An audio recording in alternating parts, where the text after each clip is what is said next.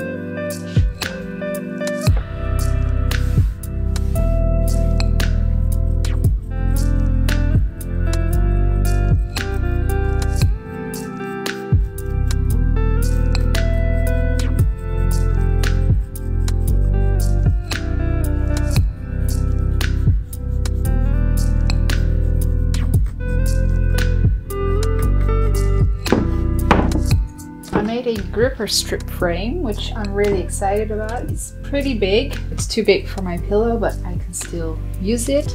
It's really ideal for punch needle because it's so easy to work with. So I'm taking my fabric, putting it on here.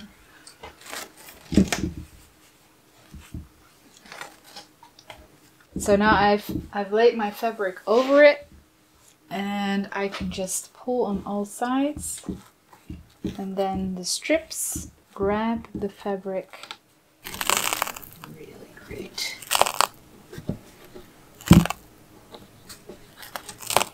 I've drawn out the pattern already so I have to make sure that it's straight. It's really super easy. just pull it up a bit and it grabs by itself. It's like Velcro a little bit, although these teeth are a bit sharper.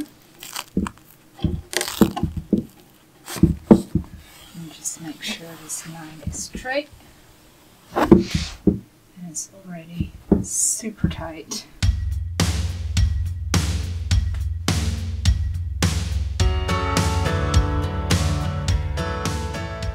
I'll be using the lever punch needle and from the three available sizes we'll be using the middle size for this entire project.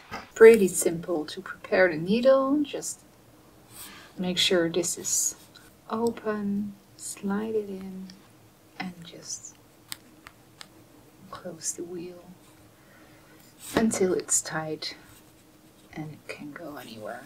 So now you have a certain length, you can make it smaller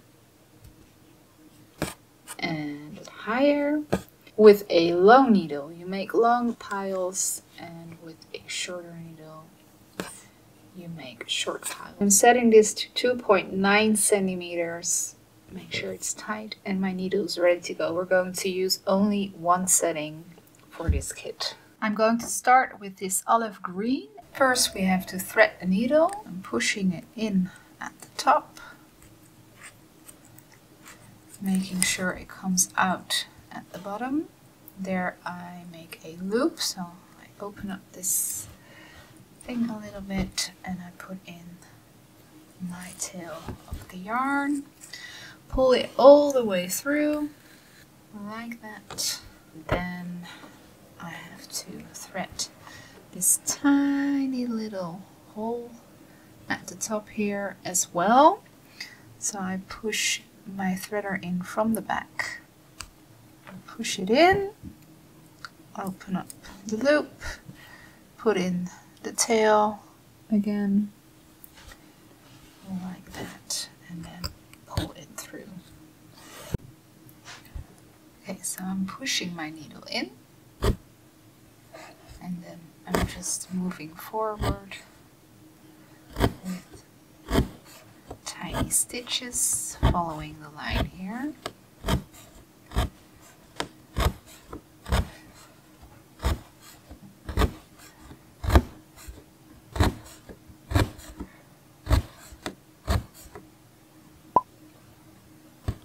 There you go, our first line is done.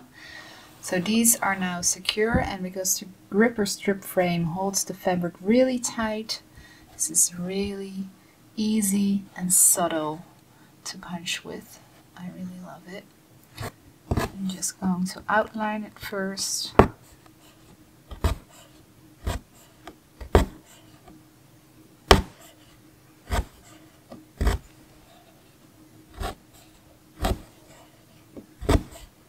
So now I'm going to continue making this same movement and going alongside my previous stitches and I'm stitching at the middle point of the previous stitch just beside it. So when I'm done with an area and I want to take out my needle and start at a different point, I just pull it up, hold the yarn there and make sure there's a little tail here and then I can just cut it off and then afterwards I will push all these tails to the other side. I have to say guys, it's so comfortable. I'm so happy that I made this thing.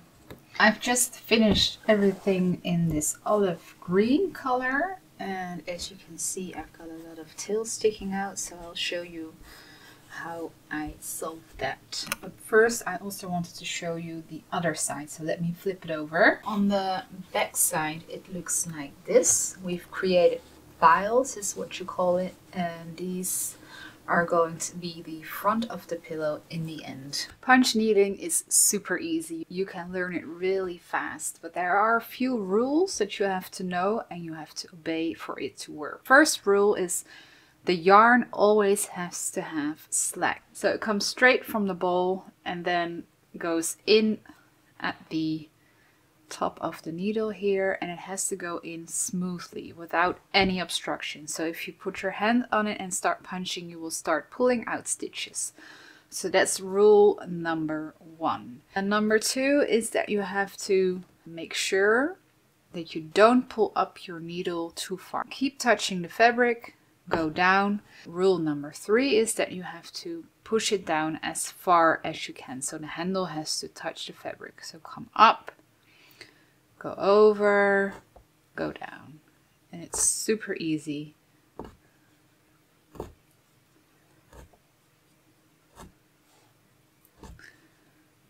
So what I'm doing is I've made a outline and I'm now going to continue punching round and around along this outline until I reach the middle and I filled the entire bit. And for this design, it's important to not make the stitches too small. So I make them about eight millimeters long so that it doesn't become too bulky. Because on the other side, we've got the loops and for every stitch that you make you create a loop on the other side. So if you make tiny stitches you will create a lot of loops on the back and that will become very bulky. So don't make your stitches too small. If you're interested I've got a whole video on this specific punch needle and how it works. So if you're a beginner and you want to learn that might be a good place to get started as you may have seen other videos from me, you know that I will probably have a kit of this design. So in my shop, you can find all kinds of tools that you need to get started with punch needle, but I also have kits. They're all beginner friendly, so I have small kits, but I also will have one of this exact design. In the kit, I will have the snap frame instead of the gripper strip frame because that might be better if you are a beginner. But if you're interested in making a gripper strip frame, which I can totally get, then I will have some of the strips available. You can make a frame yourself. Uh, I will have a tutorial on how to make this frame out uh, on this channel next week. So if you get the strips, then you can watch the tutorial and make a gripper strip frame. But if you don't want to do all that, I totally understand. So I will have snap frames available, which I've used in other videos in which I'm making pillow kits. Um, I will have that available as well.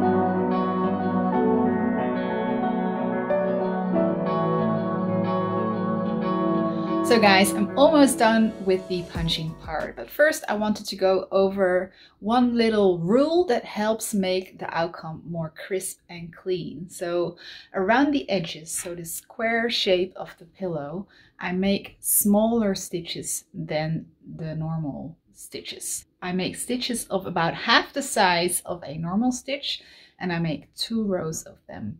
I also do this around the shapes of the leaves or the pot, for example, and also the detailing inside the pot. So make smaller stitches for one or two rows and then just go on with larger stitches. So you have to go on with larger stitches because otherwise it gets too bulky.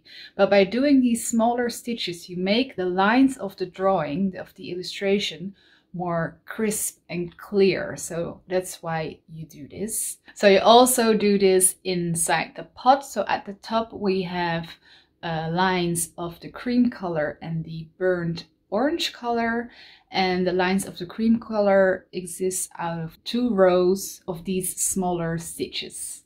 I've finished punching the entire thing and I think it looks really cool. I'm now going to take her off here. Let's see how that goes.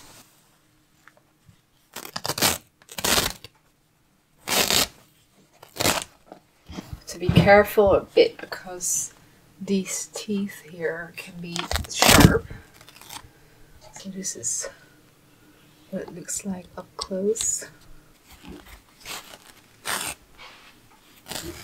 That's pretty easy.